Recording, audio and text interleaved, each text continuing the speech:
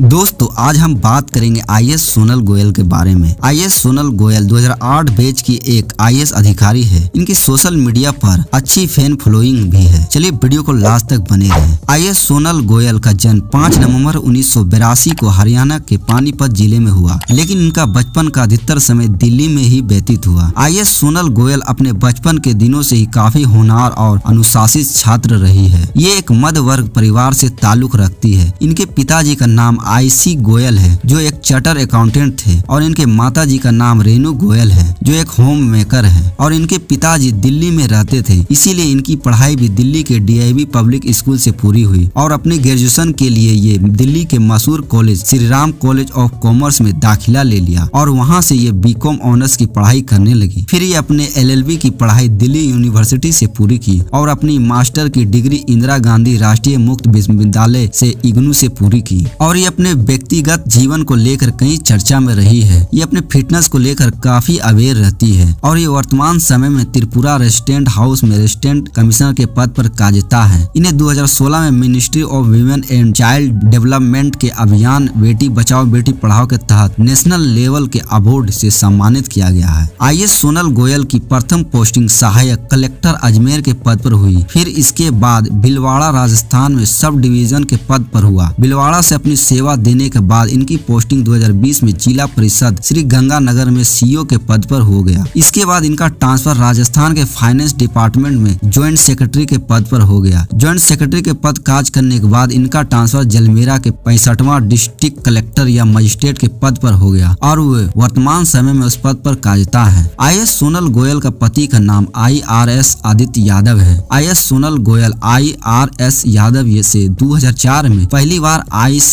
आई के फाइनल परीक्षा में मिली थी। तब ये आई अफसर नहीं थी। तब से ये दोनों लोग दोस्ती हो गए और ये दोनों लोग 2009 में अपनी शादी कर ली। लेकिन इन दोनों लोग के परिवार वाले लोग इनके शादी के खिलाफ थे, क्योंकि दोनों लोग अलग अलग जाति और समुदाय से ताल्लुक रखते थे। बाद में फिर सब समान हो गया। इन दोनों लोग के दो बच्चे हैं। आई सोनल गोयल की लड़की है, जिनका नाम आनर्स है। Thank you. जय हिंद, जय भारत।